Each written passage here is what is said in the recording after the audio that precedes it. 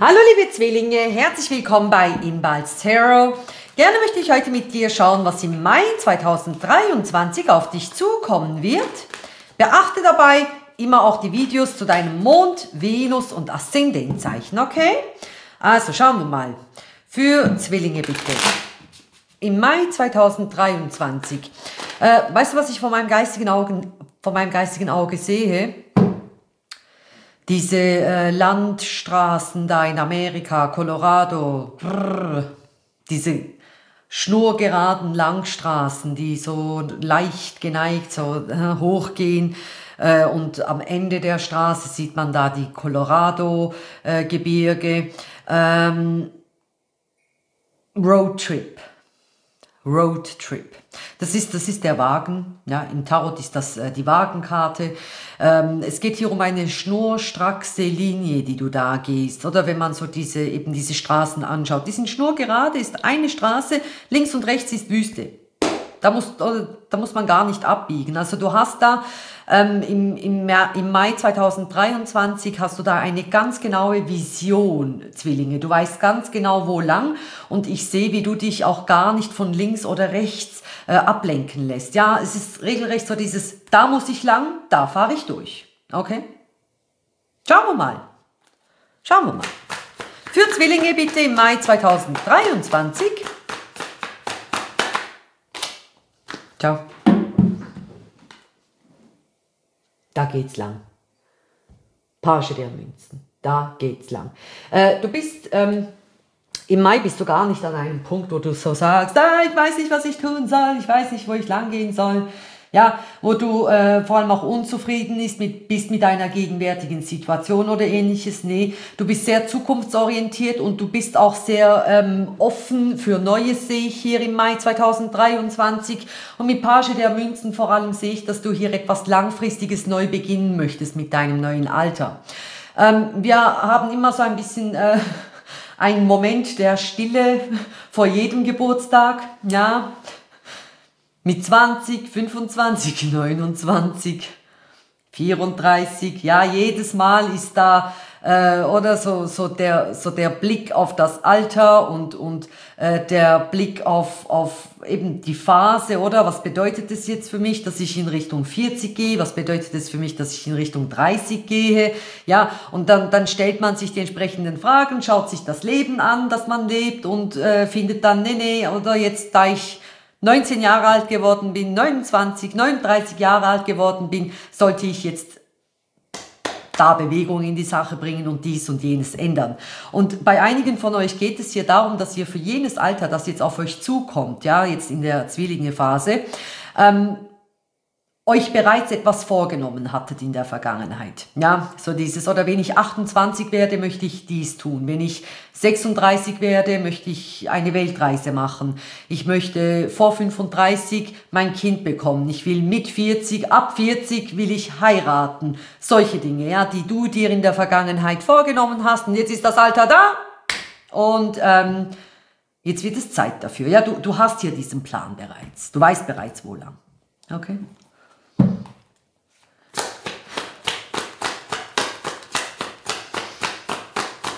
Gott.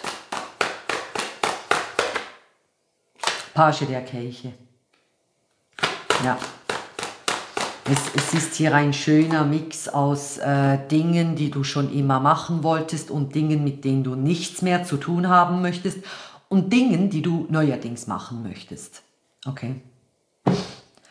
Dinge, die du schon immer machen wolltest, Dinge, die du neuerdings machen möchtest, Page der Kirche, Acht der Kirche, ja, und dann gibt es noch Dinge, die du nicht mehr tun möchtest und die du sozusagen zurücklässt.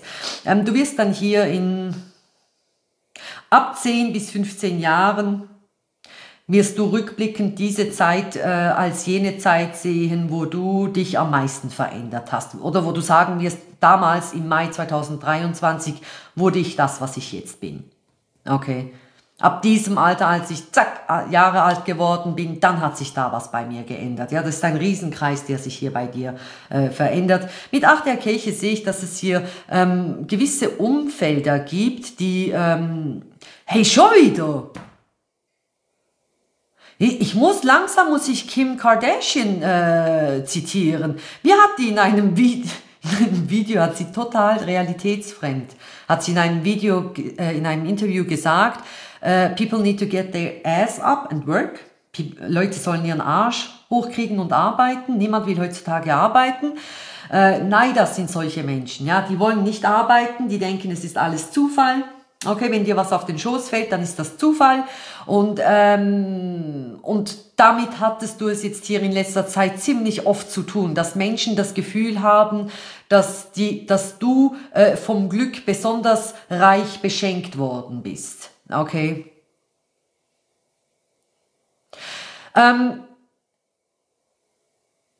achte mal auf jene, die... Ähm, Gut, wie kannst du das herausfinden? Also die, die dich beneiden, sind jene Zwillinge jetzt in deinem Fall, die anderen ähm, sehr Tolles über dein Leben erzählen.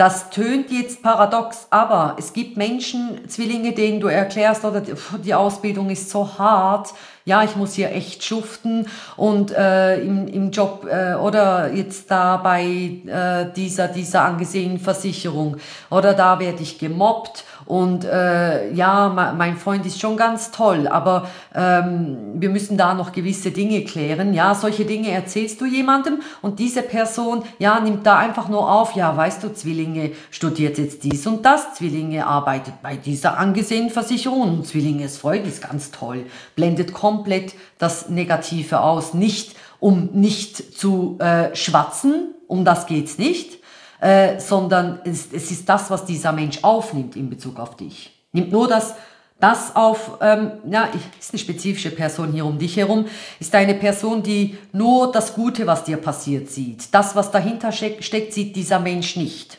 Okay?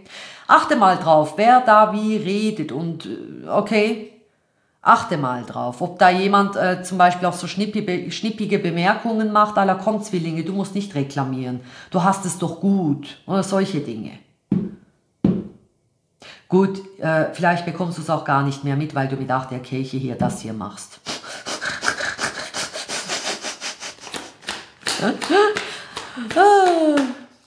Hoppala, die Weltkarte umgekehrt. Gut, da kommt jemand aus der Vergangenheit. Du dachtest, dass eine Geschichte abgeschlossen ist. Und nun zeigt sich hier im Mai, dass die Geschichte noch gar nicht abgeschlossen ist. Fünf der Schwerter und schon hast du die versalzene Suppe hier. Siehst du? Schau mal. Siehst du? Ja, ja. Äh, es ist schon nicht, oder das hier ist auch nicht wirklich Zufall. Du hast hier einen Plan, weißt, was du tun willst, weißt, was du nicht mehr tun willst, und dann kommt hier plötzlich etwas aus der Vergangenheit und alles kommt durcheinander. Na, jetzt warst du hier so schön da, ja, auf Route 66 oder sonst welche gerade äh, Straße unterwegs und wusstest wohin und dann kommt hier jemand und bringt etwas durcheinander bei dir. Okay.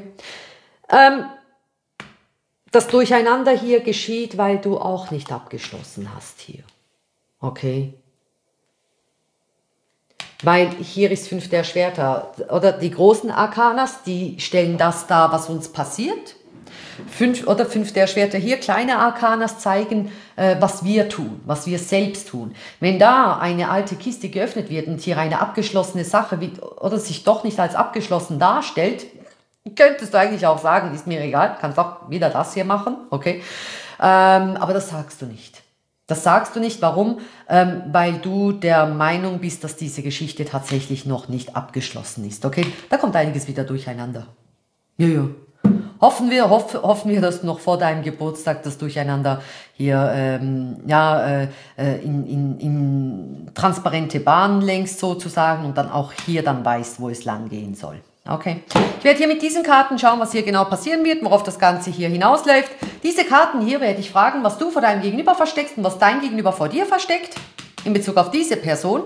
Ähm, für jene, die hier keinen Kontakt haben, werde ich diese Zeitkarten hier fragen, wann der nächste Kontakt stattfinden wird. Den Link zur Fortsetzung findest du unten in der Infobox und im obersten Kommentar. Falls dir mein Stil gefällt, freue ich mich über deinen Klick auf Abonnieren. Wir sehen uns auf der anderen Seite und allen anderen wünsche ich alles Gute, macht's gut. Bye bye.